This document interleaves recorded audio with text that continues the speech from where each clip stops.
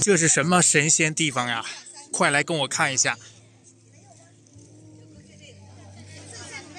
大家好，我现在世界文化遗产画里乡村宏村古镇，这是西门售票处啊，买票带大家参观一下。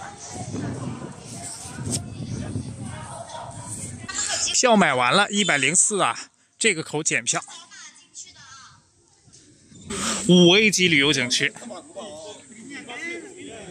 进来了，对面是南湖，还有一座桥，湖中有很多的荷花。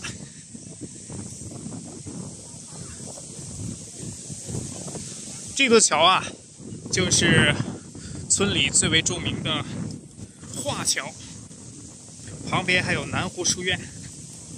好多的客栈啊，都在湖对面。来到了湖中间，这是打捞的竹筏，一座单拱桥，水挺深的，很像是黑水湖，水都是黑色的。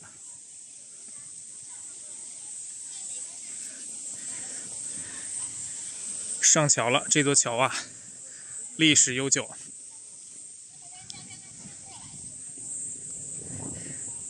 就像是苏州园林的美景。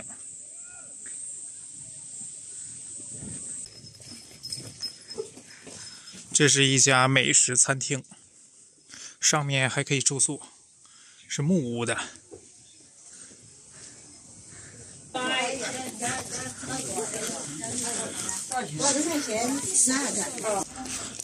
这里是个人家，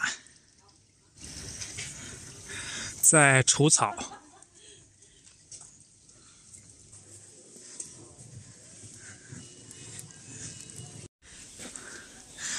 这里是一个住宿的地方。村子里以前的学校有一个篮球场。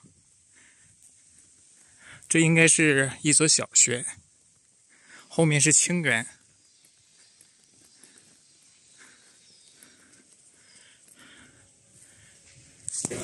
我现在来到了后街美食，这里有很多的餐厅啊，还有蓝莓汁、河马，最为著名的毛豆腐，《舌尖上的中国》拍摄地，买一份尝尝。就是这个豆腐，他说里面坐一下去买。这个豆腐十五一份在这尝尝。这就是毛豆腐，看上面都是毛。品尝一下这儿的毛豆腐，上面是小米辣，还有葱花，油炸的。外皮啊是金黄的。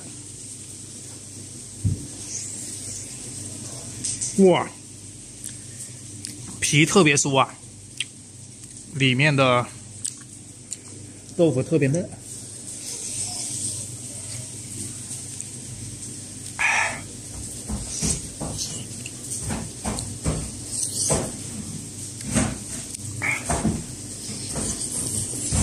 这属于黄山美食小吃一绝。嗯，完美。吃完饭来到了承志堂，导游管这里叫地主家大院进来看看。这里面一共有大小六十间房，占地两千一百平方米。其中最为著名的就是这个厅了，承志堂，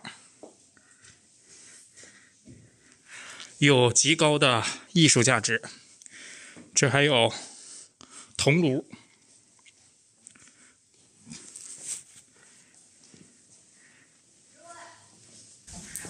这里面四通八达的，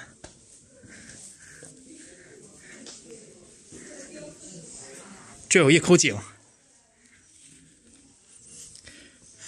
哇，井还挺深的。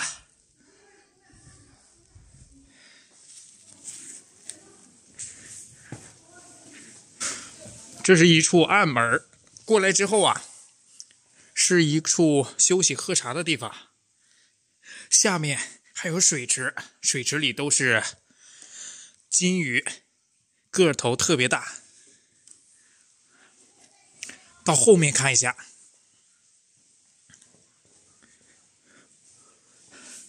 这道门被锁住了。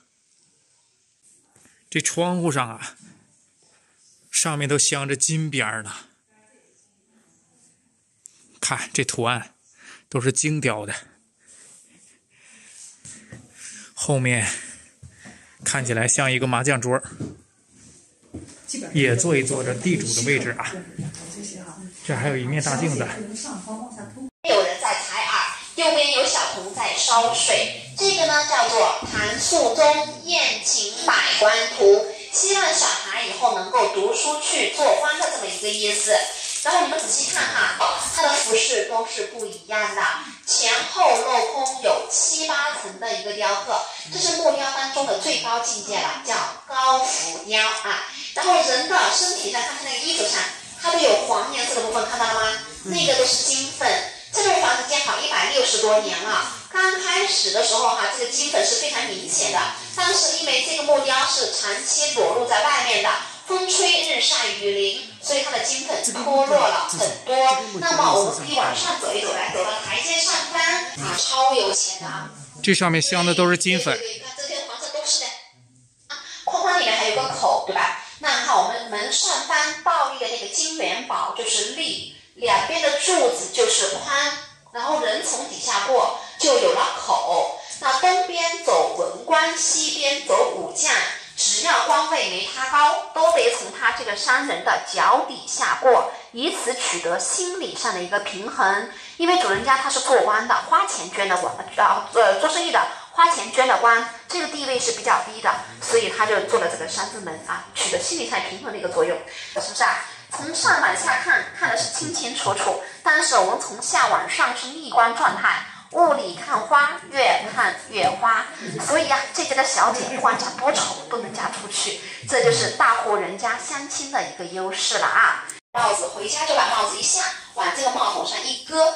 如果有人想到他家来拜访，就从门口看帽筒，帽筒上有帽子，说明男主人在家；帽筒上没有帽子，说明男主人呢不在家，是不是？就不可以进来拜访，毕竟家里呢都是老弱妇孺啊，进来拜访不是很方便啊。这边看好之后，我们再往后面走，后面一季的摆设又不一样了。好，走过来呢，我们可以看到啊。这一季的摆设，长条桌上不摆长明钟啊，摆的是什么呀？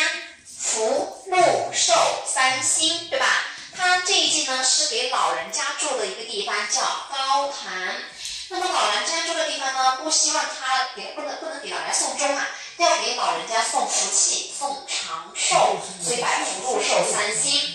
那每一根柱子下方都有个石墩子，石墩子的四面都雕刻有寿字。从细节当中体现出来，希望老人长寿的一个意思。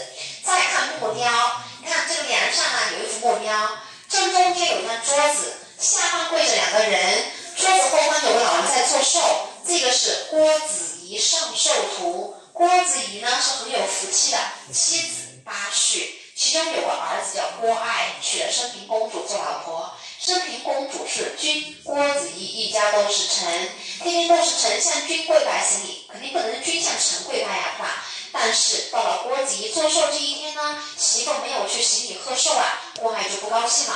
他喝了酒之后呢，借了由头给了金枝一巴掌，这个叫醉打金枝。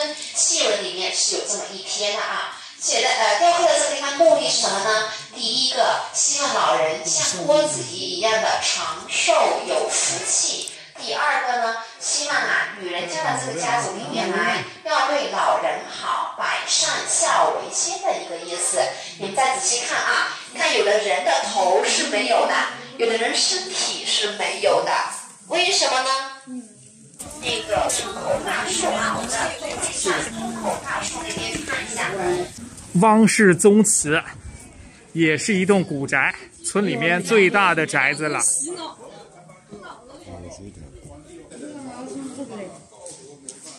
里面也是木的，各种各样的木雕。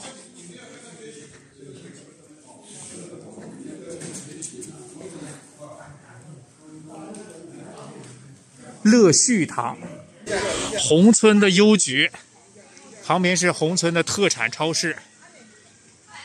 村子里还有两棵树龄超过五百年的古树，这棵是银杏树，其中最大的一棵树就是这棵，树围超过六米，太大了。在古树的旁边找到了宏村特色小吃，在这里吃碗面，呃，吃一个肉丝面吧，青椒肉丝面，十八的。青椒是吧？对，嗯，好嘞。青椒肉丝面，干拌的。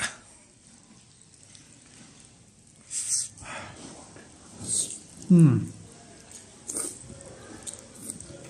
红村的正中心还有一个月沼，在这道门的后面是月牙形的，就在村子的中心。里面的水啊特别清澈，还有天鹅，好多的游客呀都在这里拍照打卡。对面还有拍婚纱摄影的，这也是村里面。最为著名的一处景观了，大家觉得怎么样？欢迎在评论区点赞留言。这个视频啊，就拍到这里吧，结束了。